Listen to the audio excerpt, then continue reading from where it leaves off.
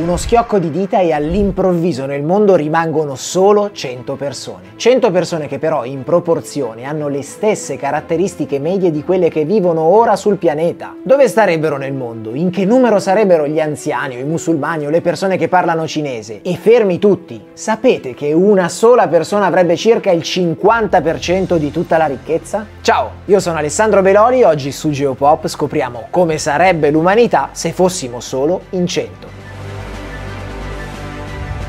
Per cominciare, se improvvisamente ci riducessimo a 100 persone e facendo qualche approssimazione statistica, dove vivremmo? In Europa saremmo solo 9, dall'altra parte dell'Atlantico, in Nord America 8, in Sud America ci sarebbero ancora meno persone, 6, in Africa invece aumentiamo un po', troveremmo 17 esseri umani.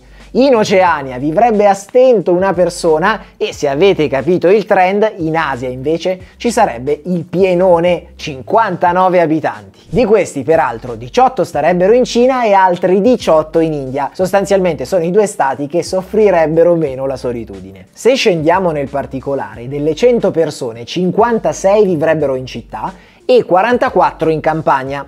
Pensate che nel corso della storia umana le persone che vivono in campagna sono sempre state la maggioranza fino al 2008. Poi nel 2008 si è verificato il pareggio con quelle della città e da allora la tendenza è proseguita e si stima che nel 2050 il 68% della popolazione mondiale vivrà appunto in città. Piccolo appunto, c'è da dire che stiamo parlando del dato complessivo globale. In alcuni continenti questa stessa quota è già stata superata, ad esempio in Europa e in Nord America. Tornando al gioco e al dato di 56 persone che vivono in città, un valore preoccupante è che di queste 17 non vivono in una casa o in un appartamento normale, ma purtroppo all'interno di una baraccopoli, dette anche favelas, bidonville o slums. Parlando di cifre reali, su circa 7,9 miliardi di persone che siamo attualmente, quasi un miliardo e mezzo purtroppo vive in una condizione abitativa molto precaria, spesso senza servizi essenziali come l'acqua potabile e l'elettricità. Peraltro spiace dirlo, ma questo dato è in aumento. Passiamo ora a sesso ed età. Se per quanto riguarda il primo abbiamo una sostanziale parità tra uomini e donne, 50 e 50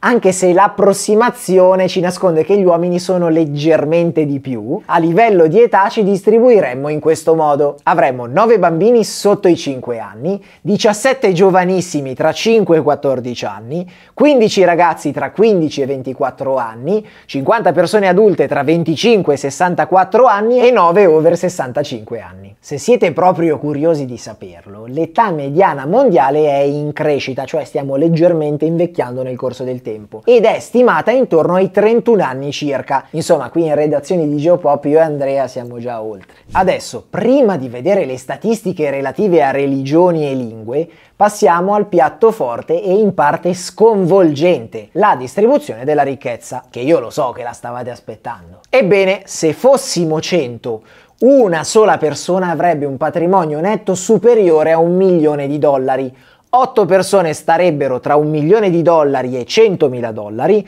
21 persone avrebbero tra 100.000 e 10.000 dollari e, se avete fatto bene i conti, 70 persone possiederebbero un patrimonio inferiore ai 10.000 dollari. Già così lo squilibrio nella distribuzione della ricchezza è impressionante, ma se facciamo un piccolo esercizio di proporzioni ve ne renderete conto ulteriormente. Dunque, ipotizziamo che ciascuna delle 100 persone abbia il reddito minimo della fascia patrimoniale patrimoniale a cui appartiene. Quindi l'unica persona con più di un milione di dollari avrà proprio un milione di dollari. Poi ci saranno 8 persone con 100.000 dollari, 21 con 10.000 dollari e 70 con 1.000 dollari. Facciamo delle semplici moltiplicazioni e vediamo quanto possiede ciascun gruppo. Abbiamo il solito unico riccone che possiede il milione un blocco da 800.000 dollari, un altro da 210.000 dollari e un ultimo blocco da 70.000 dollari. Sommata la ricchezza degli esseri umani sarebbe 2 milioni e 80.000 dollari. Avete già capito dove voglio andare a parare? Facendo le dovute proporzioni, il dato che emerge è assurdo. Mr. o Miss 1 Million possiede il 48% della ricchezza dell'intera umanità. Il 48%. E se aggiungiamo il blocco delle 8 persone che seguono, seguono risulta che il 9% della popolazione mondiale detiene l'86,5% della ricchezza. Di contro, ed è una prospettiva altrettanto impressionante, il 70% dell'umanità esistente possiede solo il 3,3% della ricchezza. Ora veniamo alle ultime due statistiche che prenderemo in considerazione oggi religione e lingua. Per quanto riguarda le religioni, se fossimo 100, 31 persone sarebbero cristiane, 23 musulmane, 15 induiste, 7 buddiste, 7 si suddividerebbero tra le tantissime altre religioni esistenti al mondo e infine ci sarebbero 17 persone non allineate, quindi atee, agnostiche o areligiose. Ora, come vedete abbiamo parlato di macro gruppi. Come ben sapete ognuno di essi al suo interno è poi diviso in tantissime confessioni diverse. Prendiamo il cristianesimo, si potrebbe già fare una semplice distinzione tra cattolici, protestanti e ortodossi, ma la lista in realtà sarebbe lunghissima, senza contare che il grado di religiosità di ciascuna persona è incredibilmente soggettivo, per cui ecco sono statistiche di massima. Infine consideriamo le lingue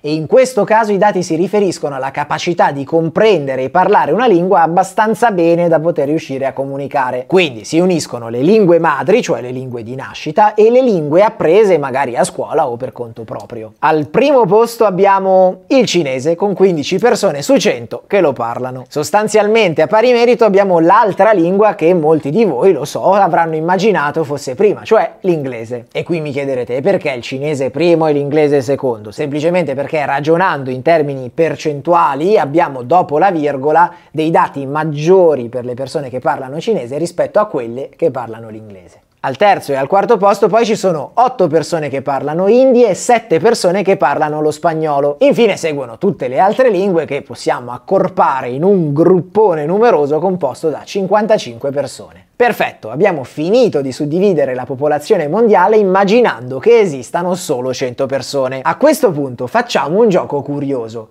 Se dovessimo identificare l'essere umano statisticamente più rappresentativo del pianeta, chi sarebbe? Beh, è molto semplice, basta attribuirgli le caratteristiche maggioritarie di ciascun aspetto che abbiamo valutato nel corso di questo video. E signore e signori, eccolo qua. Sarebbe un uomo cinese di circa 31 anni che abita in Cina e in particolare in città, quindi diciamo pure Shanghai che è la metropoli più popolosa del paese del dragone. Parlerebbe cinese ovviamente ovviamente, ma probabilmente masticherebbe anche un po' l'inglese. Seguirebbe un po' sorpresa la religione cristiana e infine avrebbe un patrimonio netto o modesto, inferiore ai 10.000 dollari. Ecco fatto, se l'umanità dovesse essere rappresentata da un unico individuo medio, avremmo una prima lista di caratteristiche per individuare un buon candidato. Ragazzi spero che questo video vi sia piaciuto, sappiamo che esistono tante altre caratteristiche interessanti per una carta d'identità media dell'umanità. Noi abbiamo cercato di selezionare quelle rispetto alle quali c'è più abbondanza di dati solidi. Peraltro fateci sapere nei commenti quale dato vi ha colpito di più. Io vi ringrazio di averci seguito e ci rivediamo in un prossimo video sempre qui su Geopop, le scienze nella vita di tutti i giorni. Ciao!